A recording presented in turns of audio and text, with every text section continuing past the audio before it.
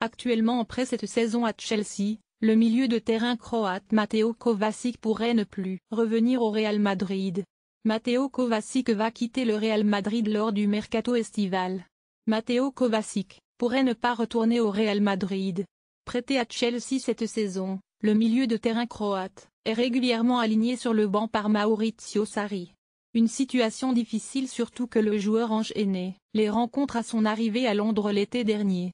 L'international croate prêté par le Real Madrid pourrait de nouveau le faire du côté de la Russie où il est sur les tablettes de l'actuel leader du championnat. Selon les informations du Daily Mail, Matteo Kovacic intéresse fortement le Zénith Saint-Pétersbourg. Le club voudrait renforcer son milieu de terrain malgré la présence de Claudio Marchisio, Mathias Kranevite et Alexander Eroquin. Cependant, l'entraîneur de Chelsea souhaiterait conserver Matteo Kovacic.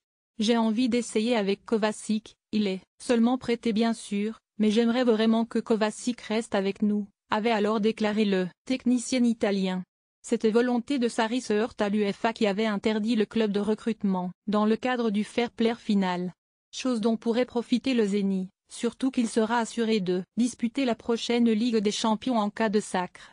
Tout le contraire de Chelsea, actuel cinquième de Première Ligue et qui n'a pas encore confirmé sa place en C1. À moins de terminer parmi les quatre premiers ou de remporter la Ligue Europa. Reste à connaître la position du Real Madrid et de Zidane au sujet de Kovacic, estimé à 35 millions d'euros sur le site spécialisé Transfermarkt. Affaire à suivre.